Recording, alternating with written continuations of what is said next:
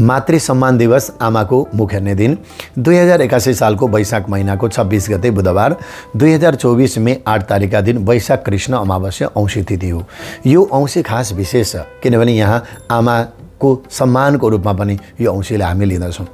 सँगसँगै दर्शकवृन्दहरू यो औँसी तिथिका दिन बिहान देवी देवताहरूको पूजा कसरी गर्ने आमाको पूजा कसरी गर्ने? आमा नहुनेहरूले के गर्ने? हुनेहरूले कसरी आमालाई सम्मान गर्ने? सँगसँगै यस औँसी तिथिका दिन के खाने के नखाने? यस दिन के गर्नाले हाम्रो धन सुख वाहन सुख समृद्धिहरू भगवत कृपाहरू मिल्नेछन्?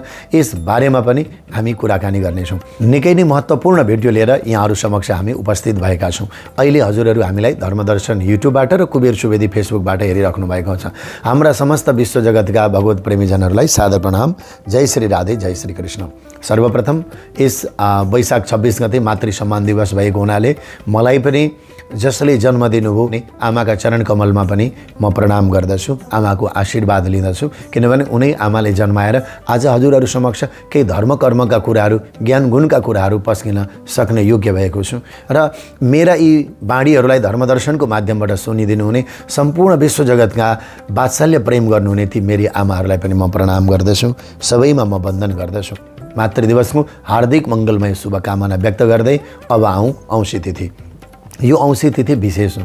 किनभने अब यो औँसी तिथिका दिन स्नानको धेरै ठुलो महत्त्व छ। नजिकै तीर्थ तलाउहरू छन् भने त जानुपर्छ। कहीँ गङ्गा गण्डकी कोशी गङ्गाहरू जहाँ छन् भने ती गङ्गाहरूमा गएर स्नान गर्ने सबैलाई सम्भव हुँदैन। घरमा गङ्गाजल गण्डकीका जलहरू ल्याएका हुन्छौँ त्यो जल मिसाएर नुहाउने पानीमा मिसाएर स्नान गर्ने।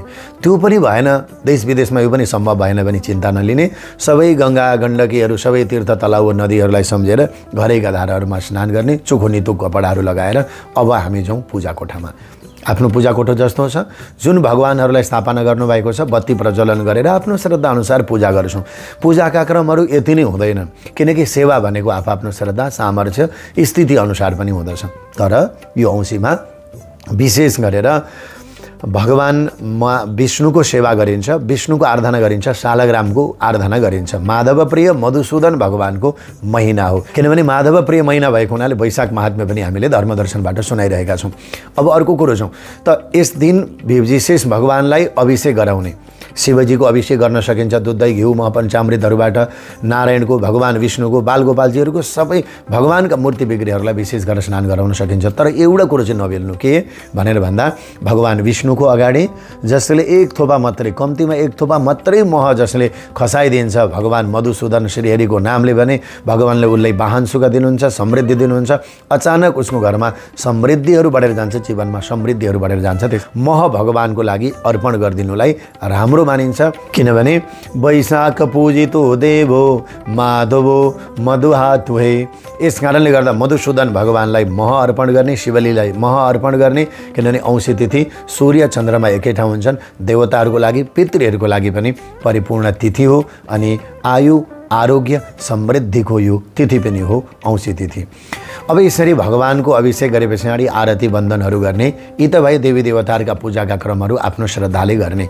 अब जाउँ हामी हाम्रो जन्मदिने आमालाई सम्मान गर्ने कुरामा माता गङ्गा समूह तीर्थ पिता पुष्कर मेव छ भन्नुभएको छ।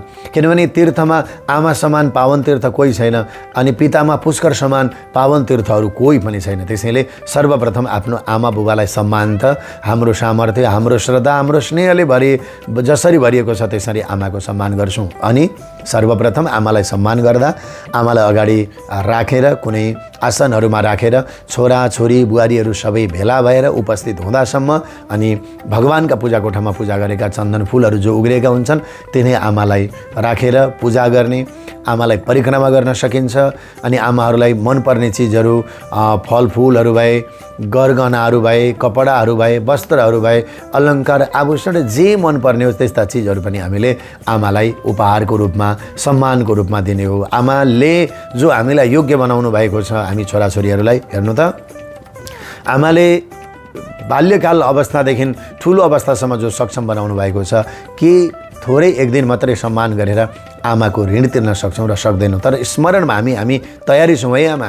हामी केही परेको खण्डमा हजुरको सेवा गर्न तयार छौँ भनेर आजको दिन विशेष सम्मान र श्रद्धा अर्पण गर्ने। दूरदराज हुनेहरूले फेसबुकमा पनि आमाका फोटाहरू राखेर आमाको स्मरण गर्नुहुन्छ। आमा फेसबुकमा मात्रै होइन हृदयमा पनि। हामी हाम्रा आमाहरू भावनामा पनि सधैँभरि आमा रहिरहनुहोस् यो प्रयास हामी छोराछोरीहरूले अहरनिश गर्नुपर्दछ। मैले यति नै भने किनकि आमालाई सम्मान गर्ने कुरामा धेरै कुरा भनेर के गरौँ आफ्नो श्रद्धा सामर्थ्य उत्साह उमङ्ग छोरा छोरी बुहारीहरूको जसरी हुन्छ त्यसरी सम्मान गरेर खुसी राख्ने यी कुराहरू अहिलेको आधुनिक समाजमा भव्य सभ्य नै हुने गर्दछन्। अब हामी जाउँ आमा नहुनेहरूको लागि। जसका आमाहरू बित्नुभयो सम्भव हुन्छ भने आमाहरूको नाममा जल दिनु होला तुलसाको मोठमा पितृहरूको अगाडि जल राखिदिनु होला आमाको फोटाको अगाडि जल राखिदिनु होला फोटाहरू पनि छैनन् भने जलै भरेर मात्रै आमाको नाम लिएर आमाको स्मरण गर्दै सेता फुलहरू राखेर चन्दन बन्दन गरेर धुप बालेर प्रणाम गरिदिनु होला आशीर्वाद लिनु होला सम्भव हुन्छ भने त तीर्थमा गएर कुनै ब्राह्मणहरूलाई केही सिद्धान्तहरू दान गर्नु मठ मन्दिरहरूमा सिद्धान्न दानहरू गर्नु अन्न जलदान दुध दहीहरू दान गर्नु मठ मन्दिरहरूमा गएर दान गर्न पनि सक्दछौँ। आमाकै सम्मान दिवस भएको हुनाले यस दिन कहीँ वृद्धाश्रम आमा आश्रम मातापिता आश्रमहरू जहाँ जहाँ आमाहरू हुनुहुन्छ जो दुःख पाउनुभएका आमाहरू हुनुहुन्छ उहाँहरूलाई पनि केही वस्त्र अलङ्कार फ्रुटी जुस पानी सातु शर्बत अन्न वस्त्र जे पनि दान पुण्य आदिहरू गरेर उहाँहरूसँग पनि मिलन उहाँहरूसँग पनि भेटघाट उहाँहरूसँग पनि साक्षात्कार गर्नाले आशीर्वाद र पूर्वजहरूको कृपा र आशीर्वाद र सुख समृद्धि वर्षिनेछ हाम्रो सामर्थ्य श्रद्धा र सम्भव भएअनुसार ती कार्यहरू पनि गर्न सक्दछौँ। यस दिन त विभिन्न अम, ठाउँहरूमा पनि जाने चलनहरू आएको छ यसरी। सबै आमाहरूलाई सम्मान गर्नको लागि अथवा विशेष आफ्ना छेउछाउमा हुने आमाहरूको सम्मान पनि गर्ने गरिन्छ। अब हामी जाउँ अब आमाको सम्मान पछाडि हामीले विशेष गरेर यो औँसी तिथिका दिनमा अर्को के गर्न सक्छौँ भने खानेकुरा। सर्वप्रथम त औँसी तिथिका दिनमा हाम्रो भोजन सात्विक नै हुनुपर्दछ। किनभने औँसी तिथिका दिन भात मात्रै खाइराख्ने होइन। औँसी तिथिका दिन तिथिका दिन भुजा मात्रै बढी खाने होइन। सम्भव भयो भने औँसी तिथिका दिन त पुरी पकाएर खाने हो मालपुवा पकाएर खाने हो अनि खिरहरू पकाएर खाने हो हल्लुईहरू पकाएर खाने हो सब्जीहरू बनाउने। लसुन प्याज माछा मासु यी चिजहरू त हेर्दासम्म पनि नहेर्ने हो। किनभने यस दिन पूर्वजहरू र देवताहरू प्रसन्न भयो भने हाम्रो आर्थिक समृद्धि हुन्छ विपत्तिहरू नाश भएर जान्छन् पूर्वजहरूको कृपा रहन्छ।